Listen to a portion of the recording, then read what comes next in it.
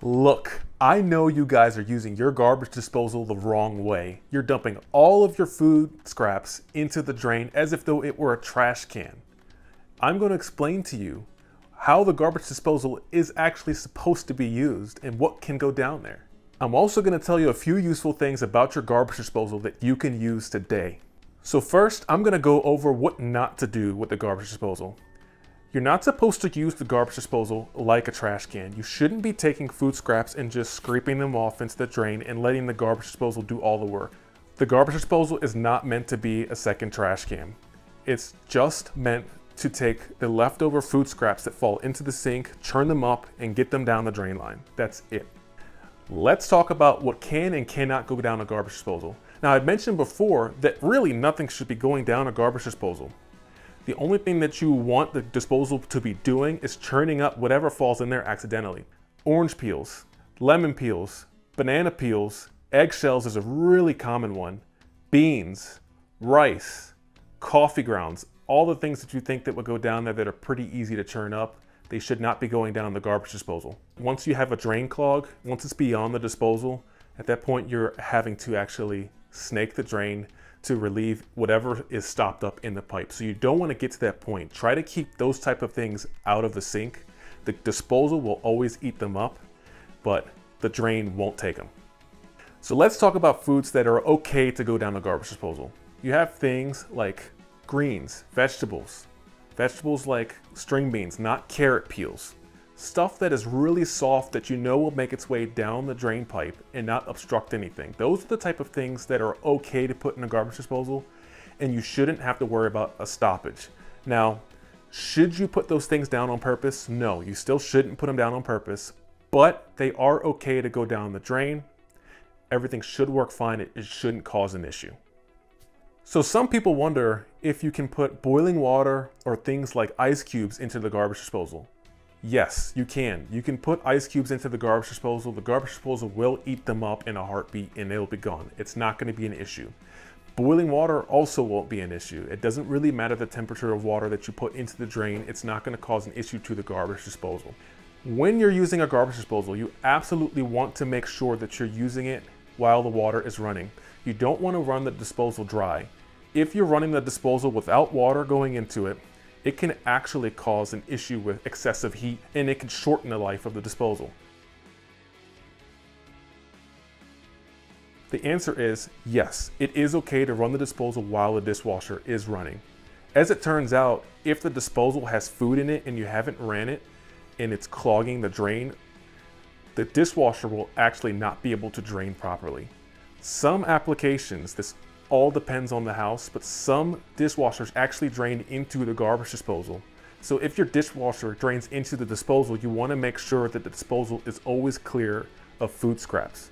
So you want to make sure that you turn it on just to make sure. Otherwise what will happen is when the dishwasher starts to drain the water, it can risk backing up into the dishwasher itself or just filling up the sink. So if the dishwasher is connected to the disposal, it's just something to keep in mind, but you can always run a disposal while the dishwasher is running. A good way to know if your dishwasher is connected to the disposal is if you look under the sink and you see a drain hose leading from one end of the cabinet. It could be the right, could be left, depends on the layout of your kitchen. But if you see a drain hose going from the dishwasher up and you track it and it goes all the way up and it connects into the disposal itself. Sometimes it doesn't look this way. Sometimes the hose actually connects into the drain which is going to be the pipe underneath. But most cases it goes right into the disposal and you can actually track it with your finger. So this will take you getting underneath the sink and actually looking for yourself. That's the only way to know for sure how it's connected. So some of you might find yourself in a predicament. Some of you might find that the disposal that you have is actually not working. And there's a couple of reasons why disposal might not be working. It could be a power supply issue, or it could be that the disposal is jammed. I'll walk you through how to troubleshoot each of these symptoms to figure out how to fix the disposal or if it needs to be replaced. So let's talk about the type of power issues that you're going to come across. So one of them being a simple issue with the reset switch, which is on the bottom here. Now the reset switch is actually designed as a, as a way to protect against a power overload. A power overload could be from a lot of things. It can be an issue with the motor, it can be an, an electrical issue. I'm not gonna go into depth as to what could cause a power issue, but sometimes it can be fixed just by simply pressing that little red button on the bottom there.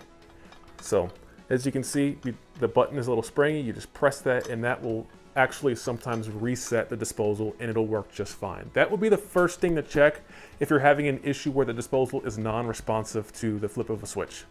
Now the next most common issue with the garbage disposal is going to be the disposal actually jamming.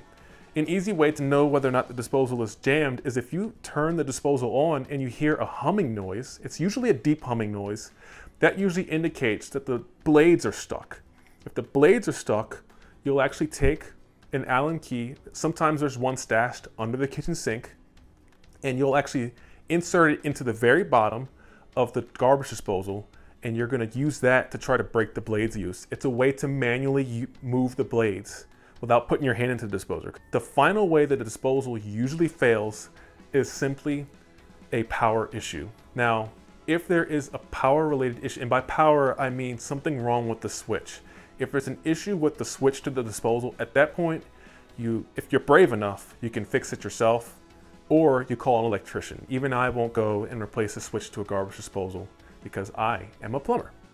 The garbage disposal is for people like myself that are pretty negligent with what I throw down there. I don't want to have to clean the strainer every time a little bit of food gets in there. I want to just throw what I need to into the sink. If a little bit of food gets down there, I don't have to worry about it because I can just flip a switch and the garbage disposal does all of the work.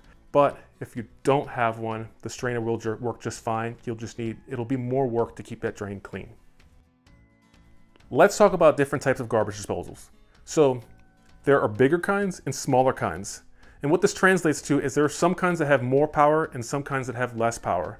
This all comes down to your application. If you feel like you want to churn up or make sure that you're churning up things such as bones, which you shouldn't be throwing down there, but let's say for instance you find yourself throwing bones into the sink, then you might want to opt for a larger disposer. Now, if you don't think you'll be doing that and you think you're a little bit more diligent with keeping food out of the disposer, then you can opt, for something that's a little bit smaller and lower duty. Whether it's a small disposal or a large disposal, just know that there is a variety of them and any of them could work, depends on what you want. So let's talk about how long a typical garbage disposal lasts. Generally, a garbage disposal, if it's on a lower end, is gonna last between two to four years. Any professional will recommend replacing it every three years if you want to avoid the nuisance of waiting until it breaks before replacing it and having a leaking disposal. But generally, a lower end disposal will last two to four years. Once you start going up the spectrum to a higher quality disposal, what you'll find is most of these disposals will actually last a lot longer than the two to four year range. Most of them will last seven plus years. How do you know that disposal is starting to fail or it's starting to run down or it's maybe on the, its last leg? Well, there's a couple things. If your disposal is making humming noises or if it sounds really, really loud, which is the most common thing. Generally, if a disposal is very loud, it usually means that it's on its last leg. So that's a good audible way to know that the disposal is failing, but there's other ways. If you look under the sink and you see that the disposal is actually has a bunch of rust on it, that's another sign. We don't want the rust to become a leak. And then of course, you'll know that disposal stops work or that it's on its last leg if the disposal works sometimes and other times it doesn't. That usually means there's some sort of issue with the motor and it's causing it to operate inconsistently. Okay guys, so we've gone over some basic things to know for your garbage disposal. If you found this helpful, leave a comment. Thanks for watching.